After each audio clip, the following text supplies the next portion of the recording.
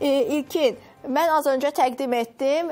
Belə bir müzakirələr olub plenar iclasda. Təklif edilir ki, tam hüquqlu beynəlxalq təşkilata çevrilsin. Səncə Avropa İttifaqında olduğu kimi Asiya ölkələri də vahid bir platformada birləşə bilərmi və bu təklif nəyə görə, hansı məqsədlə irəli sürülüb?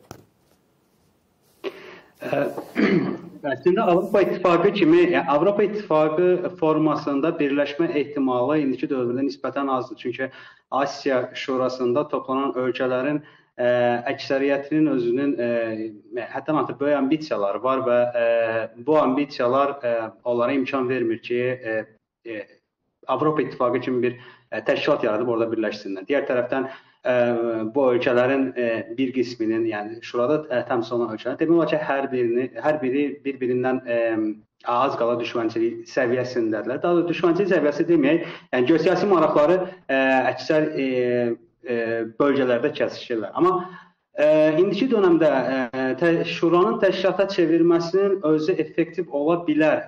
Bu daha çox siyasi tənzimləmə, da, üstəlik Asiya qitəsinə e, belə deyək, e, müharibələrin gəlməsinin qarşısını alması üçün daha effektiv bir e, e, əməkdaşlıq e, yaratmağa kömək eləyir. E, əs əslində biz Asiya Şurasının özünün e, nizamnaməsinə nəzər yetirsək, e, təxmini olaraq eyni şeyləri burada da görmək olar ki, burada da məqsəd stabilliyin, bölgədə stabilliyin yaradılması, təhlükəsizliyin yaradılması və digər amillərlə bağlıdır. Digər tərəfdən də burada maraqlı bir məqam da ona ibarətdir ki, e, e, əgər Diqqət yetirsəniz, ə, son zamanlar, son illərdə də ekspertlər də, ə, müxtəlif ekspertlər də vurğulayırlar ki, ə, getdikcə bölgələr, yəni güclər arasında toqquşma artıq qərbdən şərqə doğru çəkilməyə başlayacaq ki, burada da xüsusi yerimiz ə, Asiya qitəsi sonizmsi. Mərkəzi Asiya ə, bu bölgələrdən əsas bölgələrdən biri, digər tərəf isə Çin hissəsinə düşür. Ə, Mərkəzi Asiya dövlətləri, eləcə də Mərkəzi Asiyada marağı kəsişən dövlətlər indiki dövrdə toqquşmanın olmasının tərəfdarı deyil. Məsələn, buna ən çox qarşı çıxan ölkələrdən biri Rusiyadır. Çünki Rusiyanın artıq burada e, uzun illərdən, e, 200 ildən çoxdur Rusiyanın burada e, dominantlığı var və Rusiya həmin dominantlığı itirmək istəmir. Digər tərəfdən Türkiyə burada yenidən öz aktivliyini artırmaq istəyir, e, güclənmək istəyir, situasiyadan inkişaf e, istifadə edərək güclənmək istəyir.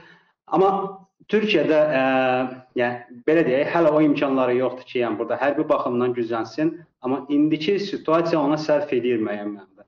Üstəlik Çin də öz sərhədləri yaxınlığında toqquşmanın olmasını istəmir. Və əgər e, bu görüşdən əvvəlki məqama nəzər yetirsəz, e, təxminən e, Ukrayna müharibəsinin ikinci fazasının başladığı müddət ərzində e, Yaponiya nümayəndələrinin Avropa Birliyinə səfər olmuşdu və Avropa Birliyində onların e, onlar arasında bir maraqlı bir razılaşma imzalanmışdı ki, daha doğrusu memorandum imzalanmışdı ki, bu memorandum əsasən Avropa Birliyi və Yaponiya ə, Mərkəzi Asiya ə, ölkələrinə yatırımlarını gücləndirəcəklər ki, bu Mərkəzi Asiyada da ə, daha çox Çin təsirinin zəiflədilməsi ilə bağlı. Çinə qarşı bu ə, qarşısını almaq üçün Çinin yayılma siyasətini, ekspansiya siyasətini qarşısını almaqdan ötürü, yəni bunu eləməli idilər.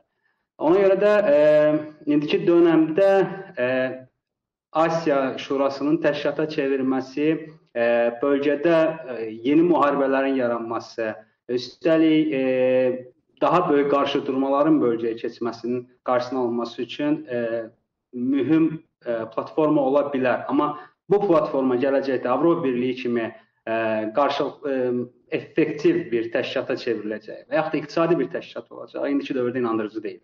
Yəni onun qədər əgər belə bir şey baş verərsə, Asiya ölkələri eyni vahid bir platformada birləşərsə, eyni məqsədə qulluq edərək Avropa İttifaqı qədər bir effektiv bir fəaliyyət görə bilməyəcəyik. Düz başa düşdük? Bəli, yəni iqtisadi baxımdan e, Avropa Birliyinin e, eyni formasını, Avropa Birliyinə alternativi siz bölgədə görə bilməyəcəksiniz. Sadəcə bu bölgələr arasında siyasi əməkdaşlıq və dialoqun inkişafı istiqamətində. Eləcə də ə, ə, belə deyək, Asiyanın daha stabil saxlanılması və da rəqabətin daha ə, stabil getməsinin ə, getməsinə kömək ə, kömək eləmiş olacaq daha çox. Bəs ə, və bu da ki bölgədəki Bəli, biz Bəli, bu bəli. ssenaridən yanaşsaq, tutaq ki, Asiya ölkələri vahid bir platformada birləşir. Bunların içində Çin də var ki, hansı ki, qərb ölkələrinin hədəfində hazırda Asiya ölkələri içərisində ən ciddi hədəfdə olan Çindir. Bəs buna Avropa İttifaqı ümumi, ümumilikdə qərbdə necə bir reaksiya gələr əgər Çinlə birlikdə Asiya ölkələri vahid bir güclü platformada birləşərsə? Əslində qərbdən gələcək reaksiya, ə, yəni belə deyək də, Asiya ölkələrinin ə, müəyyən bir platformada birləşməsi, indiki dövrdə birləşməsi qərbin ümumiyyətlə maraqlarına indiki dövrdə uyğun deyil. Qərb deyək də daha çox Avropa Birliyindən daha çox bu Amerikanın maraqlarına uyğun deyil və Amerika indiki dövrdə bu sərf eləmir. Amma digər tərəfdən ə, Avropa Birliyinin ə, burada daha çox sərf edən məqam Avropa Birliyi Amerikadan fərqli olaraq Çinlə daha effektiv əlaqələrə sahibdir və daha çox ticarət əlaqələrinə sahibdir. Bu digər tərəfdən Asiya platformasının yaradılması bir tərəfdən e, orta dəhlizin və digər o bir kəmər bir yol layihəsinin ümumiyyətlə inkişaf baxımından da ə, önəm daşıyır. Çünki bu ə, həmin ə, rabitənin itməməsinə gətirib çıxar ki, bu bu da Avropa Birliyi indiki məqamda sərfəlidir. Amma Amerikaya gəldikdə isə Amerika üçün bu sərf eləmir çünki Amerika getdikcə Çini blokadaya almaq istəyir və ə, məsələn ə, Cənub-Şərqi Çin dənizi istiqamətində artıq ə, Çinlə bağlı addımlar atılır. AQS yaradıldı və digər Quad yaradıldı. Daha doğrusu var idi Quad, daha da inkişaf elətdirməyə çalışdı, çalışılır. Ə, ə, sıx əlaqələr inkişaf elətdirilir. Cənubi Koreya, Yaponiya ilə müqavilə imzaladılır, Tayvanla ə, münasibətlər yaxşılaşdırılır. Amma ə, Mərkəzi Asiya hissəsində Amerika Birləşmiş Ştatlarının artıq ə, belə deyəcək, istinad eləyəcəyi bir e, yer yoxdur. Məsələn, Əfqanistan müharibəsi dövr dövründə Qırğızstanda, Özbəkistanda müəyyən imkanları var. Amma indiki dövrdə artıq ə, bu yoxdur və ə, bu indiki halda Amerikalılara sərf eləmir. Amma Amerikalılara sərf edən başqa bir məqam ondan ibarət ki, Amerikalılar məsələn burada əgər Çinin güclənməsini istəmirlərsə, digər tərəfdən ə, Türkiyənin burada müəyyən Bəli, dərəcədə mövqelərinin güclənməsinə maraqlıdırlar.